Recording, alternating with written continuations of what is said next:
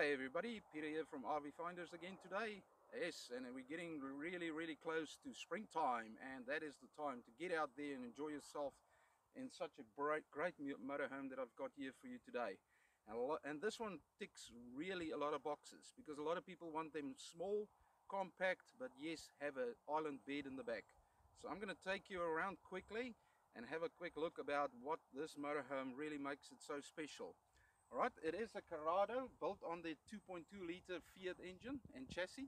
So it's a Carado make, it's a German make. So if you follow me, I can show you around. It's 130 horsepower, 2.2 litre as I said, really nice decals. Now, the reason for the price of these vehicles is actually because the manufacturing process, so the quality is really good. Um, over here, it's got a lot of extras too. We'll get to that in a moment. That's your your power point, your 240 outlet, really nice, great entry door.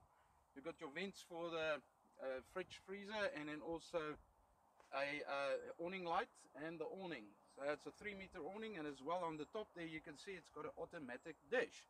Now those dishes, as probably most of you know, will cost in the region of $3,000 to fit. It's got a very nice uh, 17 liter and you can see the condition is really great.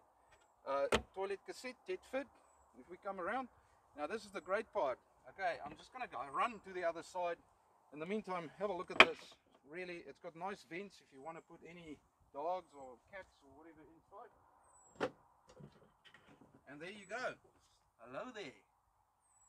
So yeah you can see it comes with carpets it's got a spare wheel and it is on a warrant of fitness with quite a lot of payload. We'll get to that in the later stage but reverse camera nice brake light there and a really nice uh, decal over this side. It's got the power point here. The power cable sorry the wastewater cable uh, uh it's got 120 liters fresh 90 gray two 9 kg gas bottles so that can take you off the grid for quite a couple of weeks. And over here is your jack unit over there. And then these are pretty nice because you can just swivel them around to the other side and then tie down everything inside so that it doesn't uh, move around while you're traveling. Okay, so very easy, lockable. Got the Truma vent there. It's all double glazed. Really good condition for a 2015 model. And then your water, as I said, 120 liters. So let's jump into the other side and then we'll see what the vehicle is all about on the inside. Please follow me. Okay, so now we are at this lovely entry door and let's step inside. Welcome to the Carado T339. It is a 2 plus 1 berth and the electric step really nicely popped out. So please follow me. Oh, before we enter, really great fly screen door. Beautiful, especially for the west coast, all the sand flies. So normally um, we go to the back and then we'll work our way to the front. So please step inside to this humble, beautiful bedroom. Now this bedroom is really great um, because at the moment you can see it's got two wardrobes. It's got a really nice big wardrobe on this side, same on that side. It's got storage up there plenty. It's got reading lights that can move and swivel a bit. And then also this bed. As you can see with a 7 meter bed there's a bit of a restriction. Now the bed at the moment is 1.8 around about 1.85 meters so there is a bit of a restriction, but it's really a nice bed and it's really comfortable. Now, if you look at the bottom here, a lot of people want to store their um, their shoes and stuff because it's lying all over the place. Now, look at that. Really nice little hatch uh, to put that in. Now, if we look at the shower unit, now this is right, really, really great because the shower unit actually um, is quite that you have a little bit more space in a 7 meter motorhome with an island bed. Now you only remove this, you just lift this up, move it aside, or you can put it on the other side, and then you can move this door and this one across. So I'll get inside quickly, but no, I think I'll stay outside. But um, basically, these two just clip together like that, and you've got a very nice big shower. Okay, magnetic, magnetic clips there, and then you just push it back and put the infill again and you're ready off to travel and these won't swivel and rattle too much okay And we also got up here where you can hang up your clothes, so it's like a drying rack. You can put some coat hangers up here and and hang stuff up here like uh, clothes and that to get uh, to dry out. Okay, and over there, this is quite amazing because at night you don't have to pull even the curtains in the front.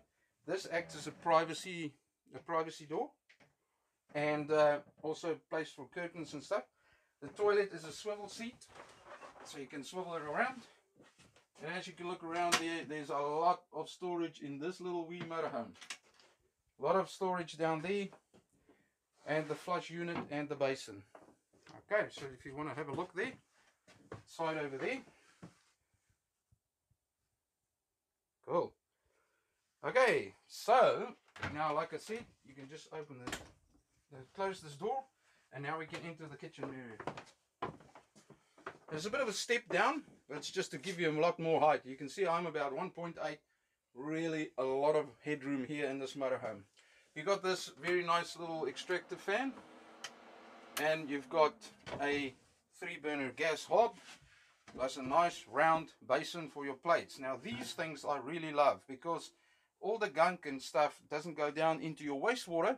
It actually gets into uh, caught up in here and you can just chuck it out in the bin. Really awesome stuff. So the only thing that you enter in, empty is basically just a bit of dirty water okay? So they all come with the fly screen and the screens and it's adjustable.